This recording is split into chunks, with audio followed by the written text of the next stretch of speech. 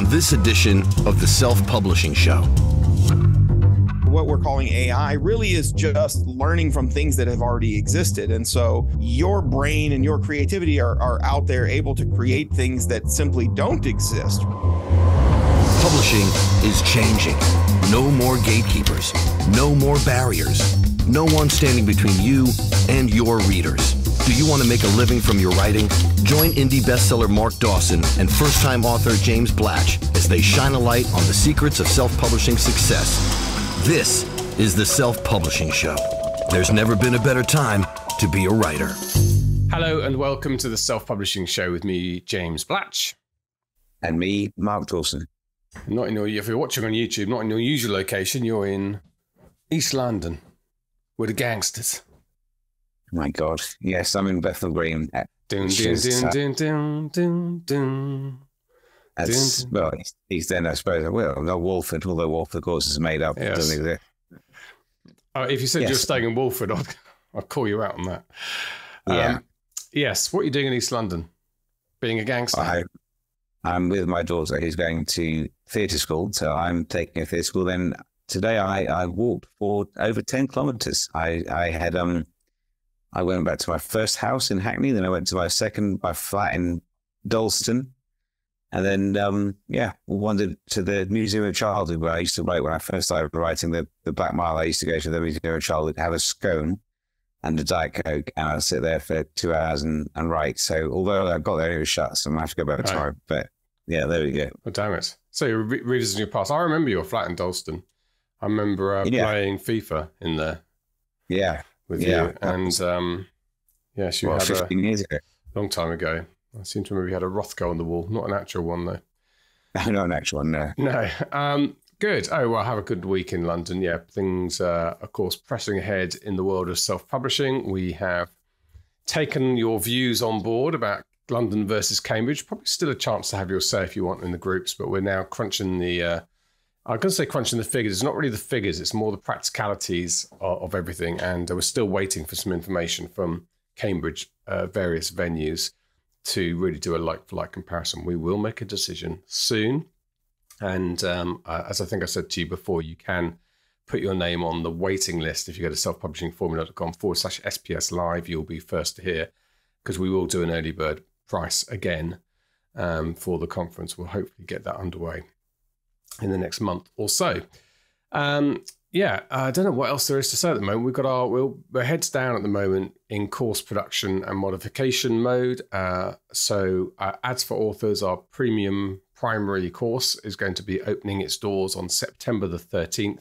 Currently going through the material now, and uh, we have an one-off course which is just going into production on translations. More of that later. And uh, those of you who watched Bella Andre at the Self Publishing Show live uh, or on the digital version of that one will be, I'm sure, eagerly anticipating that particular course.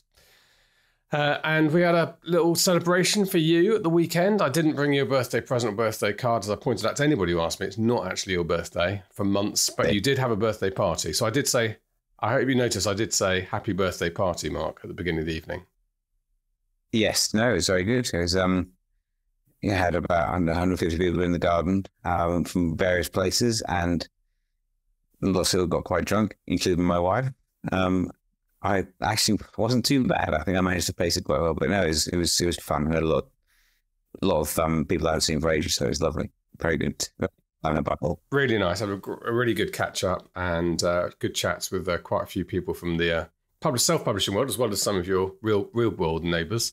Um, good chat with Alan Burrows, who you write uh, children's books with, and he and I have some shared interests on Apollo and stuff like that. Yeah. And chat with Ricardo and Sarah, Ricardo Fayet from Reedsy. And luckily, you showed me your secret stash of extra cold beer, which uh, I helped myself to most I of the did. evening. Yeah. I did. I made uh, good use of that, and it's nice to catch up with your mum again. So that was our that was our weekend. A, a trip to Salisbury it was great fun. Um, okay, and yes, I should, we should also say we did have some chats about business. So more of that anon because there is a little connection here. Well, Yeah. you know, we're always working, you and me, aren't we? Even at a party. Yeah, there's lots going on. Absolutely, at the moment. Very busy. Oh, Yeah. Yes. You two. We've got one of the one of the gods of self-publishing on uh, today, Damon Courtney, uh, one of the founding fathers of the sort of service industry that's sprung up around self-publishing. Um, wasn't that long ago, Mark, when if you wanted to give away a book, you ran a spreadsheet. You would have done that, and an email. Tried to send Yeah. send out emails, and I guess sometimes people waited a few hours, day maybe, to get their free book. It was all a bit manual. Few days sometimes. Yeah, you kind of stack them all up and send them out in you know, as in the BCC column. Um, Yeah. ter- There's only, only so many you can do like that, though, and I think email providers don't like it. No, they don't. It's a very good way to get your email shut down. So no, we don't do like that anymore. We um we use automation and book funnel, which is um you know, the two work hand in hand so that you build your list. As I just saw overnight, I had, I had 20 people join my mailing list. I didn't lift a finger. So it was, you know, the ads are automatic. The, uh, the kind of joining, joining them into the, into the mailing list is automatic. And then the delivery of the, of the ebook. And in the event that they need it, the help is automatic as well because Yeah. funnel do all of So yeah, it's a very big help.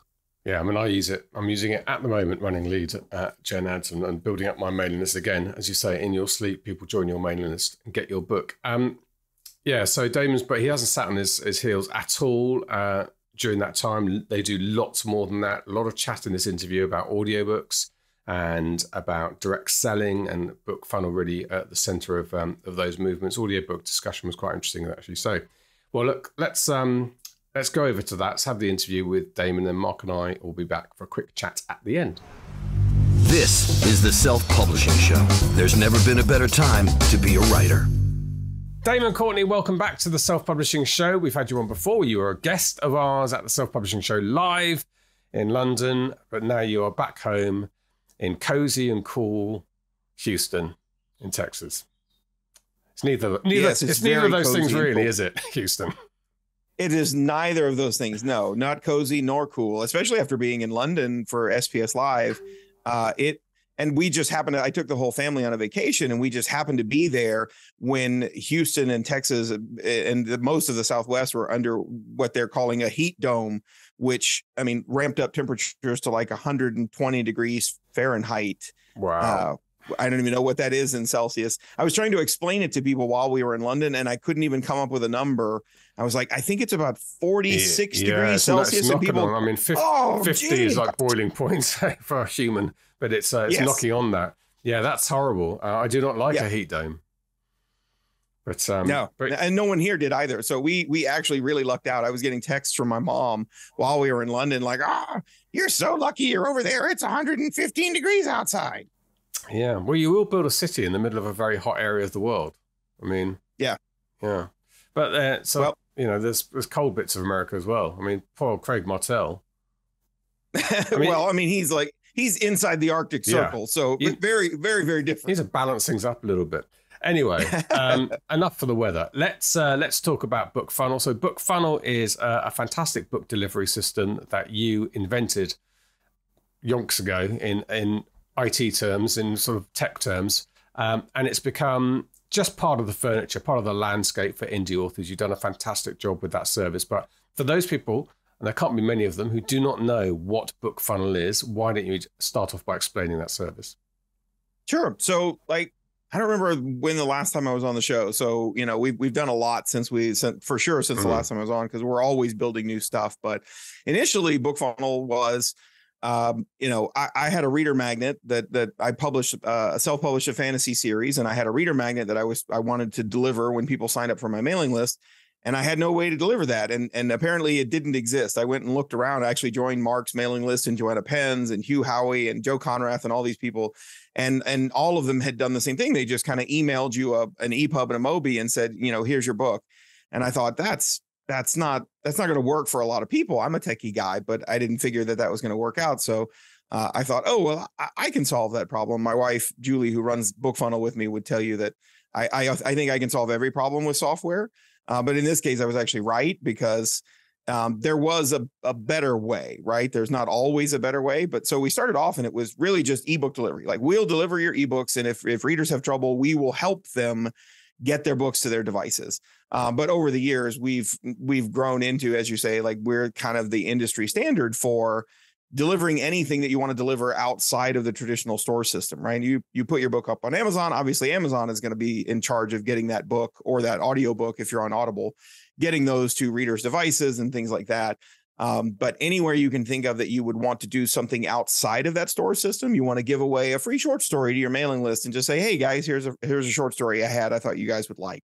Um, or if you wanted to sell direct from your website, you want to sell your audiobooks or your ebooks direct like we're the we're the delivery service we're the one that puts all that stuff together and makes sure that the readers are going to get what they paid for yeah so as you say the classic use of book funnel people perhaps familiar with the service will know is if you have a novella that you want to give away and it's just it just means there's a link that you send out to your email address. And one of the great things for us and i i have a an older audience for my military cold war stuff um and yeah for sure. they're not always as uh, as used to tech perhaps as the 30 year olds in which case i do a, probably twice a week get an email from somebody um, usually quite nice but just saying they had trouble loading it. And a brilliant thing for me is i can send them a link to your help pages knowing that you have a support team that will take that off my hands and that honestly whatever if it's 50 or 100 quid a year I can't, I can't remember how much it is now you can tell us that is worth its weight in gold not to have to deal with that yeah, we've built a lot of really cool features, right? You know, it's it's I'm a software developer, so I love building cool stuff. But I always tell people the biggest thing that you get with BookFunnel, even on our, our lowest plan, which is only $20 a year, you get 100% support for your readers. Our our support team is there 365 days a year, even on Christmas. Like we're answering wow. emails Christmas morning from people who open up their new Kindle under the tree and they've got that new, you know, they got that that free book that they just got delivered. Like we are there all the time. And it it really is. In fact, we tell authors, like, please if some if a reader contacts you please just forward them to us and say hey thank you so much for you know contacting me. I'm so sorry you had trouble. Um bookfunnel handles my you know ebook delivery and they'll be happy to help you because like you could end up actually confusing them more if you yes. try to help them. Like we do this every day all day every day and and we're really good at it. Our people are trained on every every device you can think of that a reader might have in their hand. We've got one and we've tested our process on it and we know how to get a book to it. So yeah just we say don't don't don't do that. You're that's what you pay us for. Send them to us and we'll take care of it. Which is superb. And uh, as you say so so that's giving away a novel novella whatever. Um, but you've added a lot more since then. I think the big innovation last time we spoke was the audiobooks. Mm-hmm. and mm-hmm. you have your own audio player, which is a bit of a game changer actually, because it's much more technically complex to deliver an audiobook, even even back in the Hugh Howey Mark Dawson days when they were doing it themselves. I don't know how they'll do that an MP3 file, but it's quite big on an email, etc. So you have a system of delivery and a system of playing, and now I think with AI um, and AI voices and so on, that's that's opening up a whole little ecosystem for authors. For sure. Cause we, so BookFunnel, like we get the email all the time and I'll just answer the question here. BookFunnel is, is a, you pay us as a service, right? So I don't really care what you're delivering. I don't have, we don't have specific policies about whether you can use AI narrated books or any of that stuff. We ask that if you're going to put, so, so we have a lot of authors that are doing this. And I know like Joanna Penn does she does her audiobooks twice, right? She has the for her nonfiction, she has the one that she records in her own voice, which she sells as sort of a full price audiobook. And then she has one that she paid like $80 to AI narrate. And now I think you can even get it done for for free. Like Google Play will just will do AI narration of your audiobook for free. And it's it's you know there's still the uncanny valley you can tell right uh, you know but i've heard few some ais where i'm like i have a hard time knowing that that's a computer, hmm. right? So the only thing that BookFunnel really asks is don't, you know, treat your readers with respect. Tell them, put in the narrator field AI narrated or narrated by AI or something like that, just so that it doesn't feel like you're trying to give them some sort of bait and switch. Um, but we have a lot of authors that have started doing that because I mean, let's be honest, audiobooks are expensive to produce. They they just are, especially for an indie author who's really just getting started. But the the problem is that if you're just starting out, right? You you've just got your first book out, maybe your second book out. You you probably don't, unless you just somehow got on a rocket ride. You you probably don't have enough money to produce full blown, you know, actor narrated audiobooks. Except that even when you're first starting out and you first have that first or second book out there, there is a hungry audience that would like it in audiobooks right? What we've learned since we launched audiobooks a few years ago was that you you sort of have three classes of readers. You have readers like me who don't do audio at all. I, I I I read ebooks. I that's the way I enjoy my reading. It's I get in bed at night and I read, and that's my my downtime. Um, you have audio, you have readers like my wife, Julie, who is an audio first listener. So if you have it in audiobook, she's absolutely going to take the audiobook first. But if you don't, she still reads plenty of ebooks and that's just fine. And then you have this last class of audio only. They have absolutely moved into they only care if your stuff is an audiobook and you will not be reaching them as an audience if your book is not available in audio. So, you know, AI narration has opened up the possibility for a, a, lot of indie authors to get their stuff into audio. And sure, maybe one day they'll have the money where they can say, oh, I, I could invest the money to actually get an actor to come in and narrate my audiobook. And I really want that. But in the meantime, you're missing out on a class of, of readers who just won't touch your stuff if they can't listen to it in audio. Yeah. I mean, I'm fascinated by the um, the AI audio. I was playing with Eleven Labs in Mallorca, and I, someone introduced me oh. to it. And yeah, they're good. And I created, you know, a British middle-aged male voice, and you get like a, a slide bar which goes zero to 100 percent, but you'll never get the same voice twice, even if you move it between say yeah. 18 and 19, and then back to 18. It's not the same voice again. So it seems to me there's like an infinite number because of the way the algorithm works of voices, and you can settle on one that works for your book and then it's pretty damn good. It's pretty damn it good. It is really good. It's not 100%, that's for sure. There's some inflections, but what I've been doing, and I haven't released anything yet. I know this is controversial. I'll get some comments about this, but I am seriously thinking about doing my novella. It's cost me three and a half thousand pounds to do my novels, um, mm-hmm. and that's expensive. And the idea of perhaps getting it out there using BookFunnel, delivering it to those people who have already bugged me about having this in audio and then maybe when it's made some money back, investing that in a in a human. It might be my my way of doing it. But um, one thing I found, I copy and paste a chapter in, listen to it, and then rewrite some sentences that are going to work yeah. better with the way he talks, and write some stuff out phonetically. Like there's a RAF station, RAF Habbaniya in Iraq, which is mentioned a lot in my my book, and I have to spell that out Habanya. Uh, to make him say it, but that's you know that's fine. So it takes a few minutes for each chapter, but it's going to cost me, I think, probably on the top top plan on Eleven Labs, like eighty bucks probably in a month to get that done, compared to three and a half thousand pounds, and that's a big uh, saving. So I'm really tempted to release this. Um, I will get some hate from it, and Mark's very suspect about the whole thing, and I realise that, but um, I love it. I think we're in the the early stages though. I think that there are people out there that are trying it out and and you know look, back when in when indies were releasing ebooks and all the trad publishers were saying, "Oh, these are garbage, this is crap." Yeah. Like I, it feels the same kind of thing and ultimately our message, Mark's message, like everybody's message back then is still the same, which is we're going to let the readers decide. You, you tell me, you say that my book is, is crap because it's self published, or you say my book is crap because I didn't get a professional editor, or I didn't pay $4,000 for a developmental editor, whatever, right? Like there's always some reason why somebody's going to crap on your book. And our answer was always, um, yeah, I'm going to let the readers decide. And readers are buying my book and they've decided that they like it. So I get it that you think it's crap, but but my readers like it. And I think you're going to get the same thing with AI, with with with audio narration and things like that the readers will decide. If you put it out there you spend your 80 bucks and you're like hey i tried that. And it turns out yeah everybody hates the ai narrated stuff. They said it sounds uh, it sounds like a robot and i don't want to listen to it. But you've learned the lesson yeah. right? Yeah. and and i think you'll find that some readers do care. So this is like what joanna was trying.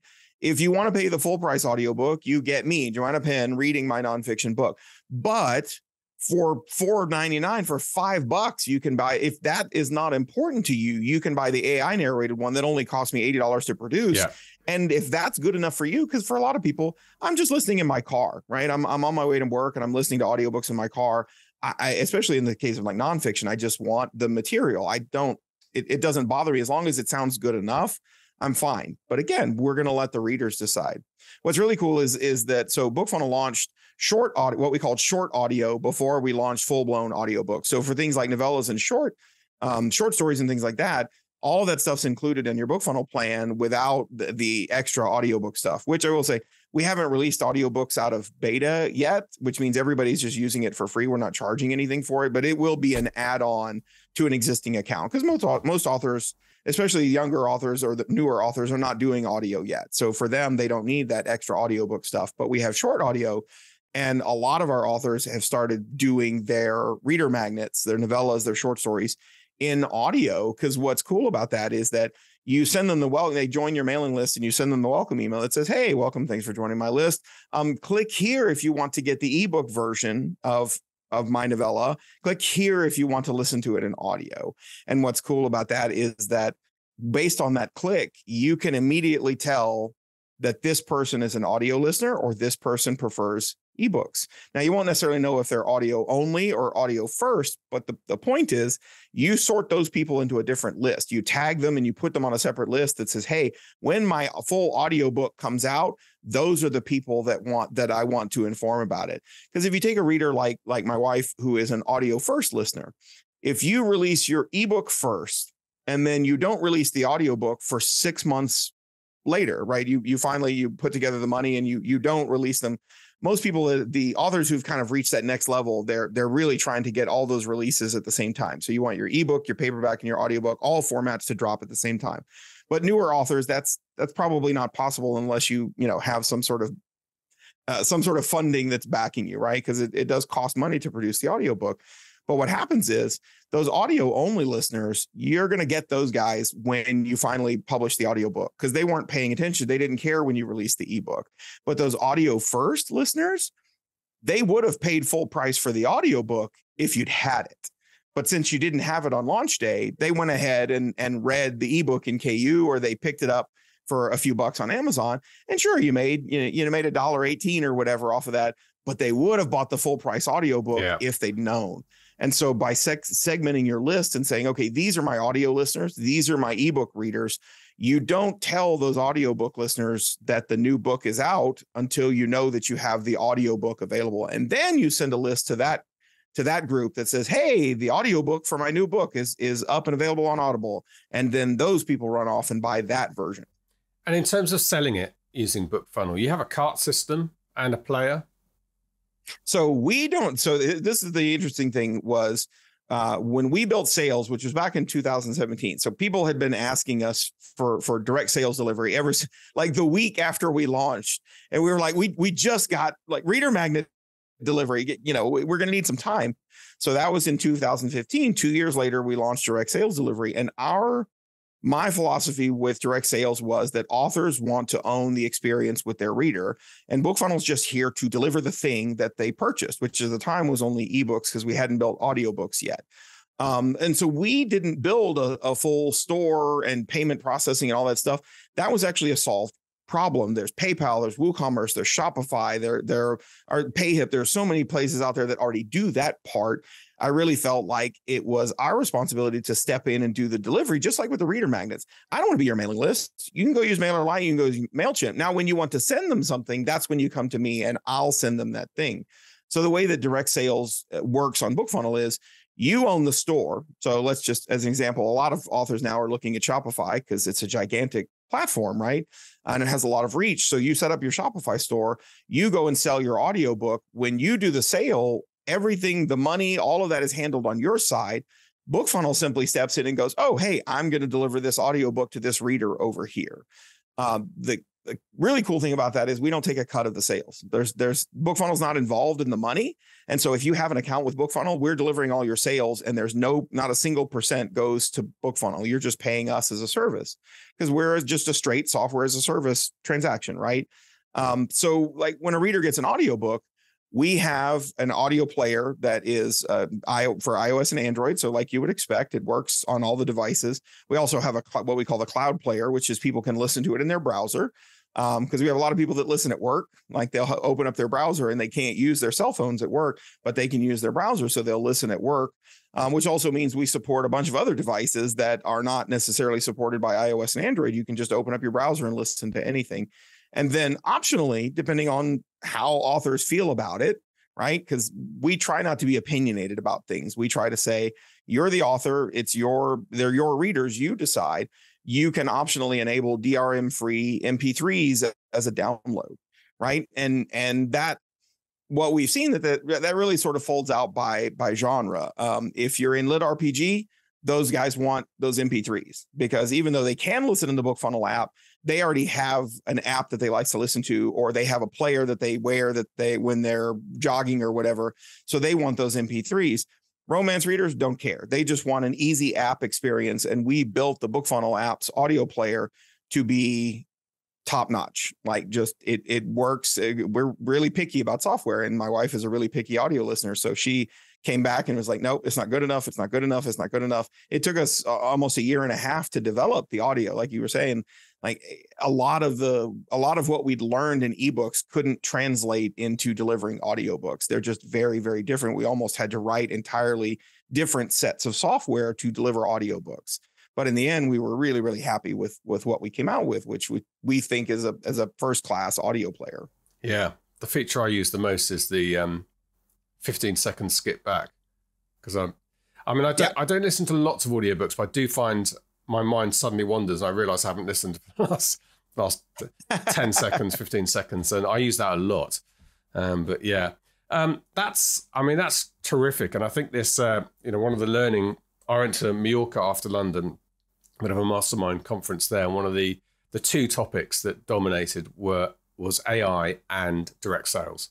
They seem to mm-hmm. be the two areas really on the growth at the moment, and you are well positioned with that um, with that link with Shopify in particular. It seems to be the the package of choice uh, for a lot of direct sales people. Um, yeah, so it's as simple as having a Shopify account, linking it with BookFunnel. We don't have to go into the details yep. of how, but yes, you can do that.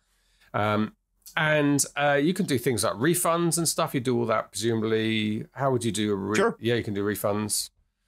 So BookFunnel doesn't like Shopify doesn't tell us if you refund them on on that side, but if you go into your BookFunnel dashboard, you can just say refund, and really all that means is it pulls those books back out of their BookFunnel library and takes them away because they've refunded. And you can refund individually, so you can refund the whole transaction, or you can just say, oh, they okay. accidentally purchased, refund that book, and it all it really on from the BookFunnel side, it means take that book back out of their library. They're not supposed to have that one anymore. Because, um, but yeah, it's it's all there. I'll tell you why I ask because I was thinking when I was thinking about the 11 Labs thing, and particularly some people being a bit cynical about it, what I was thinking about doing, it's interesting you say what you should put in for the author name, is is releasing it like 4.99 or something to my mailing list only, mm-hmm. putting a real name in there, and then after a month, emailing them to say, I love your feedback. This is an experiment, it's a test. What did you think of the narrator? What do you think of stuff? And then reveal to them that it was AI. I have no intention of a long term deceit but I would quite like people to listen to it not knowing and then then know. And then that's why I'd want the refund because some people might think, oh, I wouldn't have bought it as AI, in which, which case I'd obviously just refund them. But I would love yeah. a control group to feed back to me, not knowing whether it's AI or not. And and and they won't necessarily come back. I don't think they'll come back and say, I thought this, this is a robot. But they might come back and say, mm, I thought he was a bit flat, something like that. Yeah. They'd be quite interested to hear that it all depends on the the AI. I, have heard some of the stuff from Eleven Labs, and it's it's really good. Yeah, like I'm an engineer, right? I've I've been building, I've been writing code since I was seven years old, and that stuff just blows my mind. I, I, even as an engineer, I'm like, I don't even know how they did that. No, it is moving so fast. In fact, that I could upload my own voice. I haven't done this yet, but I can upload my mm-hmm. own voice, and I've got I've got a lot of it recorded with these podcast episodes, um, a huge sample, and it will then create my voice on there. That's it's so crazy. Yeah. Um, it's moving so quickly. Uh, it is going to be everywhere. So, audiobook delivery, ebook delivery. What else are the features that you've rolled out? I can't remember when we spoke either last time, but what, what are your latest things? Um, what are the latest things? So, I mean, you like you said, we are talking about it in Mallorca. The direct sales has been the biggest topic of conversation, even for the last couple of years.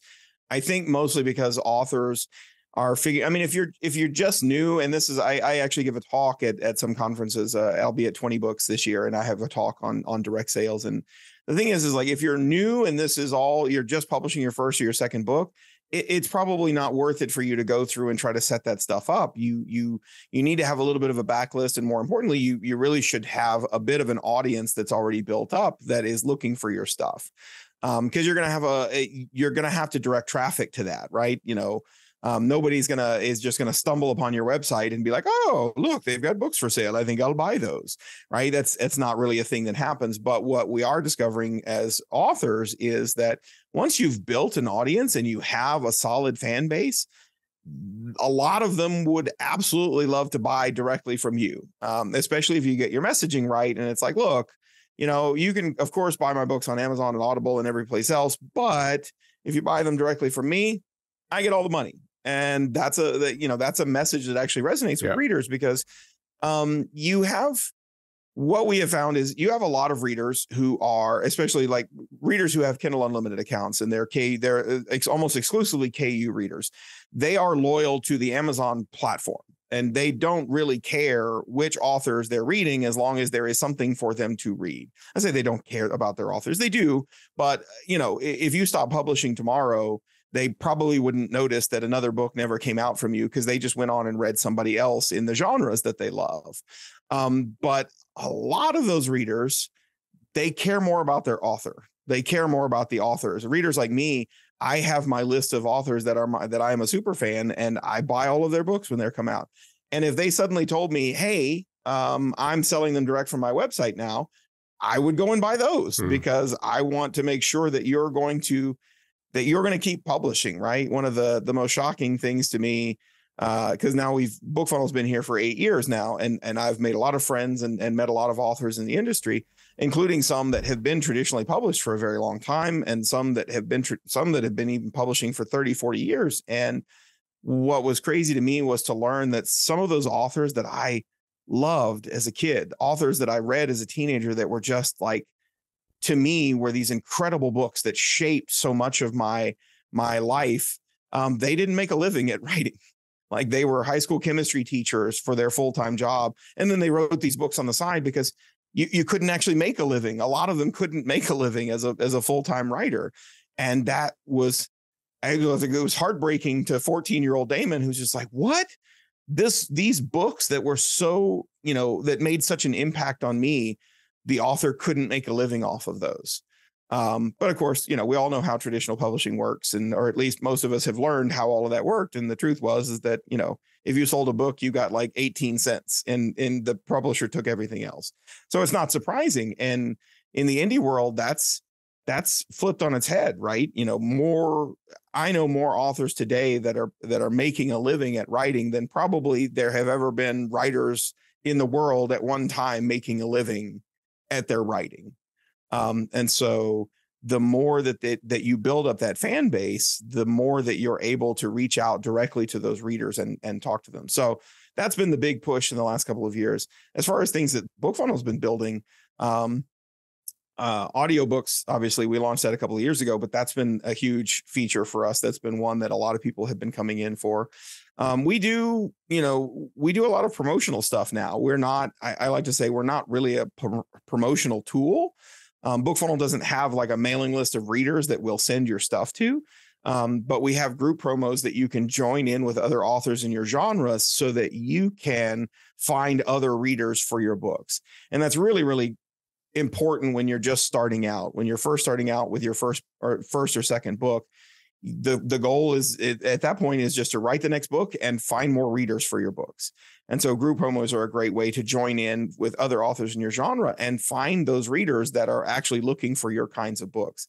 And that's where you'll need a reader magnet and things like that. And and we don't need to talk about that. I'm sure that you you guys have talked about reader magnets and all that sort of stuff uh, plenty of times, but you know, once you have uh, you know in a talk that I give for beginner book marketing, one of the first things I say is first finish your book, and then once you're done with your book, think about what your reader magnet is going to be before you've published that book. And and it, you know the best thing you can possibly do is have that reader magnet done whether it's a short story or a prequel novella or whatever it is so that the minute you put that first book out there you've already got a sign up in the back of the you know the a, a mailing list sign up at the back of the book and you've got your reader magnet ready to go because you don't know where those early readers are going to come from.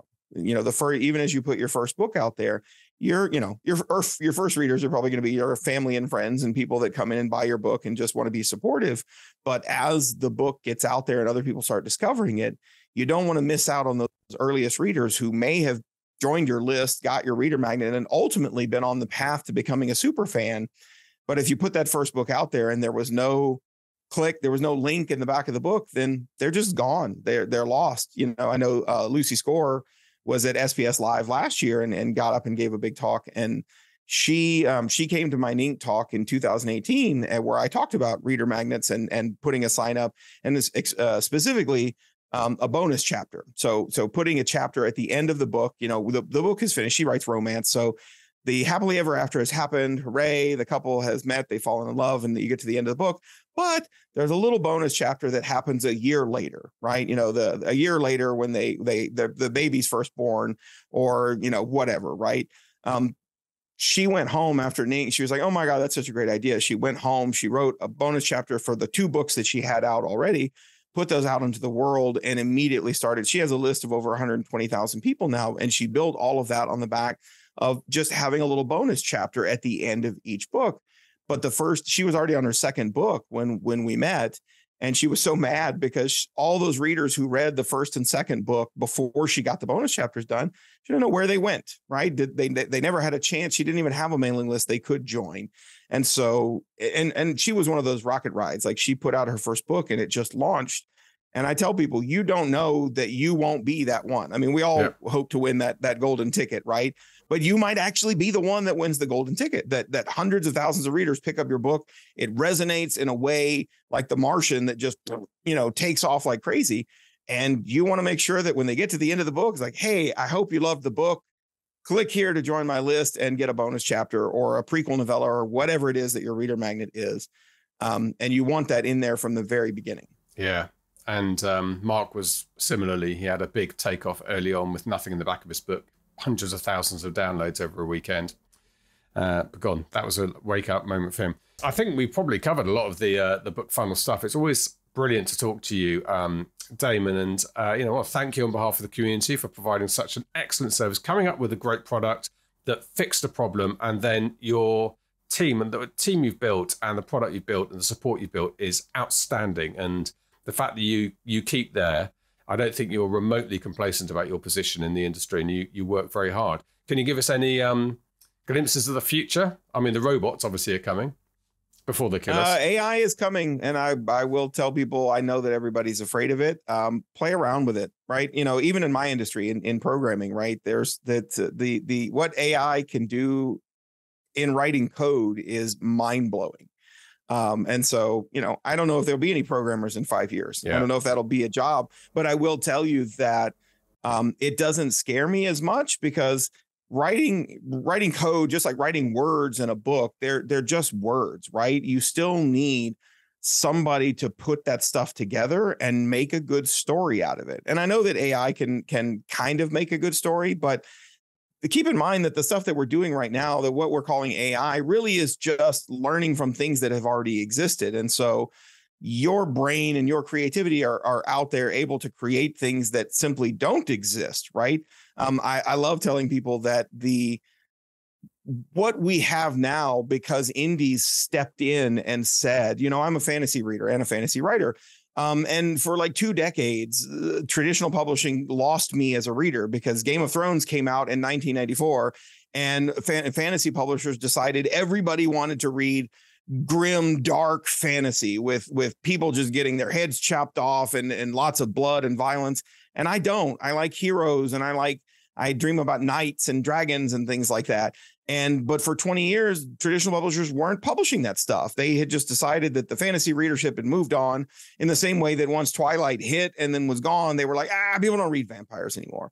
And then here come the indies, and they're like, well, I still like vampire books, so I'm going to write those. And then found like, holy crap, yeah, there were millions of people out there that were clamoring for vampire books that the other publishers just simply decided weren't there anymore. The readers weren't there anymore. Uh, you know, when I I started reading indie fantasy, I found the books again that I loved because the indie authors were like, you know what, screw all this grim dark crap. I'm going to write something with real heroes and real adventure, and and I'm going to you know have some fun with it. And I was like, ah, that's what I want to read. And you know, we have genres now that didn't even didn't even exist traditional publishing. You know, the Agatha Christie sort of cozy mystery novels had all but disappeared. They were like, ah, Agatha Christie's old stuff. Nobody wants to read that stuff. Cozy mysteries is one of the largest yes. genres in the world now, yeah. right? And then those people took it even further and were like, um, hey, um, people really seem to like cozy mysteries that have cats in yeah. them, and so we're going to start writing and cat food. cozies. Right. It's, yes, exactly. Food. And we're going to bake yeah. cookies. We're going to do all like all of that stuff came about because the indies were trying new things and and finding things that worked. Read and so yeah. And so like the fear of AI AI at this point can only do can only copy what already existed, right? So AI would not have created cat cozies because cat cozies didn't exist until authors came along and said, you know what, these cozies with cats are selling really really well, and I think I'm going to write those. And and this whole genre of cat cozies was born out of that, right? And so the same thing with like programming, and I think about the kind of fear that people that that people in my industry have about AI is going to take over and make all the programmers obsolete, except that you can write code all day long. It doesn't mean you can design software. It doesn't mean that you can make a product that people actually want to buy and pay you money for. And so, uh, you know, the future of BookFunnel, I, I don't have any plans to implement or integrate AI directly into BookFunnel. I couldn't see how that would help in some ways. But for sure, when we get asked the questions, you know, can I distribute an AI narrated audiobook? Absolutely, you can. Go out there and do whatever it is you're going to do as an indie author.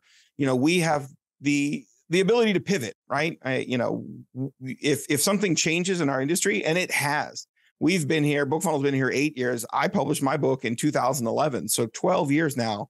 I mean, I'm an old fart in in self publishing, and yet like the what is it the only constant is change right in the 12 years that i've been here everything about the industry ch- seems to change at least every other year if not every year and this is just another thing that you're going to roll with yeah. and you're going to figure out how to make it work for you yeah i saw a quote the other day saying you won't be replaced by ai you'll be replaced by somebody using ai and I think that's the thing. Either either adopt it and see it as a tool that's going to make your productivity better, it's going to make your marketing slick, it's going to give you endless possibilities of images for ads and stuff like that.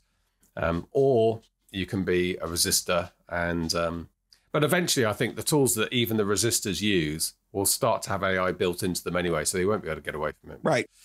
But uh, yeah, brilliant. Well, fun to catch up, Damon. I hope it's cooled down a little bit in uh, in Texas. We went from 105 to 99, so wow. we're down to double digits, which you know that's a that's a love that's a chilly summer in Houston. What do you do all day? Um, is it like it must be like 85 in the evening, even. Can you, yes, you sit outside in the evening or is it too hot? Uh, we have a pool. So we sit outside. If we sit outside, we'll go hop in the pool and, and swim a bit. But yeah, I mean, it's with a nice breeze. 85 is comfortable enough that you you can sit outside and enjoy a cooler or something like that. But uh, I mean, it's it's unpleasant. I'm I'm going to be completely honest. It's it's terribly I, wet. I did notice. You know, my brother lived in in Katy on the suburb of Houston, we visited him a couple of times, and I did notice that the the language used about weather in Houston was the opposite of the UK. So if you talked about it being unpleasant at the weekend, it's not going to be nice at the weekend. Forecast isn't great. What you meant was it's going to be hot. Whereas in the UK, yes. it was exactly the opposite. Um, yeah, we would say it's going to be great at the weekend. It's going to be brilliant, which meant it's yeah, going to be hot. the sun's going to be shining. It's yeah. actually going to be warm. Yeah. We, we, should get out and do something. Yeah. Although the moment it comes out, of course, we do complain, but that's just just in our nature. Um, Damon, thank you so much indeed for joining us. Thank you for your time as ever. And, uh, and I meant what I said about um, your, you know, I do see it. I know you, it's a commercial enterprise for you, but it's a service to the industry that we're very grateful for. Yeah, but it's something that I, I, I know that it's a business, and I you know obviously I treat it like a business. But we make I mean like being in audiobooks, being in beta for now almost three years, and everybody's just using it for free we make decisions based on what works for our authors and what works for the the community as a whole because that's what I care about. Like I I genuinely care about this stuff. I'm a reader. I've been a lifelong reader. I'm a self-published author myself. Like this stuff's important to me. And so everything that we build and everything that we do, sure, we're a company that makes money, but um, it's that's that's rarely the thing that decides what we're going to do is is oh well we could totally make money if we built this you know, I built BookFunnel because I needed it. I, I needed what BookFunnel did, and it didn't exist. And I think the best software out there in the world that I've ever used has been the stuff where people said, I need this. You know, some engineer somewhere said, I need this, and it doesn't exist. I'm going to go build it. And then they build it and go, hey, this is actually pretty cool. I wonder if other people would like to use this too. Yeah. Uh, and it's it's when you get people who are like, how can I make money? Uh, what is something I can make money off of? Oh, you know what? Indie authors, self publishing seems to be blowing up right now. I'll go build something to make money off of those guys. Um, for me, it's that's it's not, never about yeah, That's not the same as you having a, a problem, trying to solve a problem in front of you. Right. As the driver. Brilliant. Okay, Damon, we'll let you go. Thank you so much again. And uh, perhaps see you in the autumn. You're going to be at the conferences. You're obviously going to be in Vegas, I think. Are you going to be in Ninc? We'll be at Ninc in September. I'll be at Ninc in September, and then I will be at 20 Books Vegas in uh, November. That's I think that's it for my slate for the rest of the year. Yeah, well, we'll be both in both places as well. That's the plan. So we'll uh, see you there. Awesome. This is the Self Publishing Show. There's never been a better time to be a writer. There you go. So one interesting area I thought was um, AI audiobooks because people are taking different views on this, and it's a controversial subject every time we mention it, but it is the hot topic that authors are talking about all the time. And Damon takes the view that um, they're not going to say no if you that's your choice. You can, and they're they're not that platform are going to have that sort of um, terms and conditions. But he does suggest ethically you should let people know, which I think is probably a reasonable point. Um, that it is an AI author. Although it's interesting that you do have to let people know. Um, that's how good some of the voices are. But uh, yeah, so that's that was one area. I think I think the direct selling of audiobooks. I mean, I'm really thinking about this. Now. I've got two audiobooks with real people um, narrating them, and they've both been exclusive with um, with Audible since the beginning, and they've done me pretty well. I do about a, I've averaged about a book and a half a day, and it's actually usually been my profit at the end of the month after the Facebook ads and sales uh, even themselves out. And so I don't know, but uh, I didn't have a great month two months ago. The last month was back up a bit. I am thinking, do I do I go wide? I'll tell you what, I was slightly put off. I did an interview some time ago about this subject, and some of the the places you would want to go wide with take like 10 months the whole process of getting your audiobook up on, on there and i don't fancy that idea particularly if i then wanted to reverse it uh, at some point but um, yeah i don't know are you wide with any of your audiobooks um, well i'm all i am with all of them actually because I, I have a I don't do them myself, so I deal with with WF Howes, they do everything, including the distribution. So they are available everywhere. Um, so yeah, I'm not the best person to advise when it comes to audio because I, I yeah. don't get my hands dirty with that. They they do all that for me. Thinking about it, I'll have a little think. Let me know via Facebook whether you've got any uh, anything to add to that. Okay, well, look, that's it, I think, for this episode. Thank you very much indeed, Mark. Just to let you know again, um, we are opening ads for authors on September the 13th. Um, if you go to selfpublishingformula.com forward slash ads for authors, there will be a waitlist there for you. Um, but you'll be first to know if you're on our mailing list when that's open and ready. And that's it. We've got lots to do to get that ready, right? It's less than a month from where, yeah, we're, yeah. where we're sitting. Good. Enjoy the rest of your week. Enjoy theatre school.